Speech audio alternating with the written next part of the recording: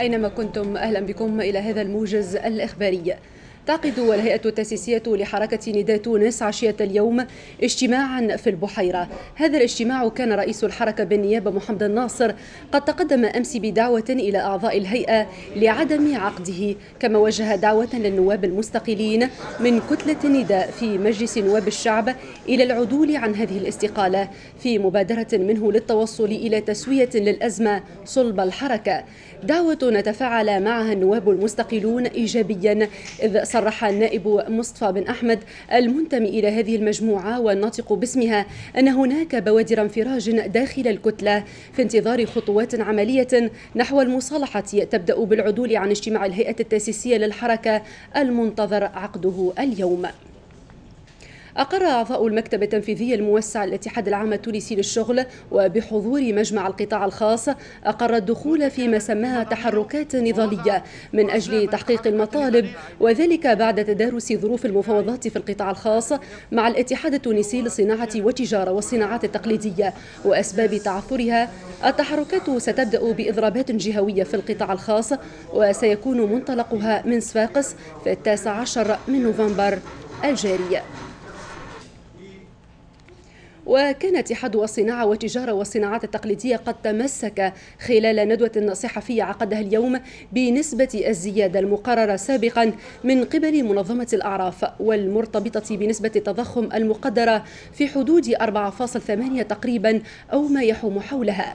كما عبرت منظمة الأعراف عن رفضها لما اعتبرته منطقة تهديد المعتمد من قبل الاتحاد العام التونسي للشغل.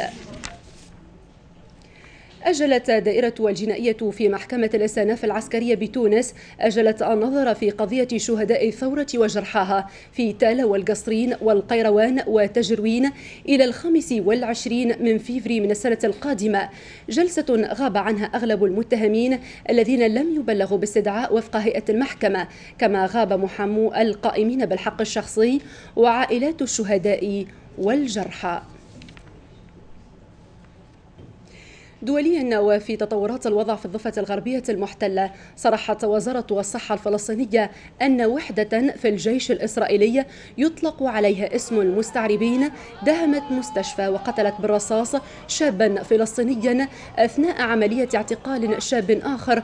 يشتبه أنه نفذ عملية طعن كما اعتقلت قوات الاحتلال الإسرائيلي في ساعة مبكرة من صباح اليوم أربعة شبان فلسطينيين من شمال وشرق محافظة بيت لحم في الضفة الغربية.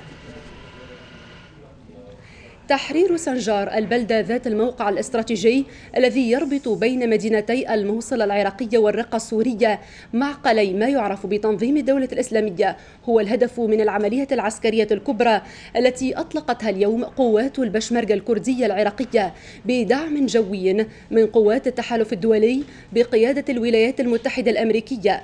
ووفق بيان أصدره المجلس الوطني الكردي ستقود هذه العملية التي يشرف عليها رئيس إقليم كردستان العراق مسعود البرزاني إلى السيطرة على خطوط إمداد التنظيم المتشدد وإقامة منطقة عازلة لحماية البلدة من نيران المدفعية. إنشاء صندوق لمساعدة إفريقيا على التصدي لظاهرة الهجرة يبلغ رأس ماله 1.8 مليار أورو. كان اليوم أبرز ما تمخضت عنه أشغال اليوم الثاني والختامي للقمة الأوروبية الإفريقية التي نظرت لمدة يومين في حل لأزمة اللاجئين والمهاجرين. ولم تتجاوز وعود المساهمات من قبل الدول الأعضاء حتى الآن سوى 78 مليون أورو.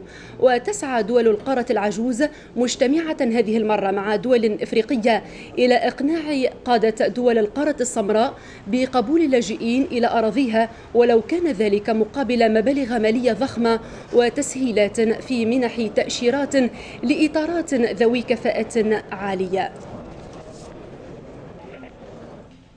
تنطلق وفي موفى هذا الشهر القمة العالمية بشأن المناخ في باريس التي تهدف للتوصل إلى اتفاق عالمي يسمح بالحد من ارتفاع درجة حرارة الأرض. وللصين دور هام في التوصل إلى هذا الاتفاق بما أنها المسؤولة عن الجزء الأكبر من انبعاثات الغازات الدفيئة في العالم. وقد تحول الرئيس الفرنسي فرانسوا أولاند إلى الصين منذ أيام وأعاد بتعهد منها بدفع المحادثات قدما للتوصل إلى هذا الاتفاق الذي دونه سيتحول الوضع البيئي في العالم إلى كارثة وفق الخبراء. ختام الموجز نلقاكم في نشرة الثامنة بإذن الله.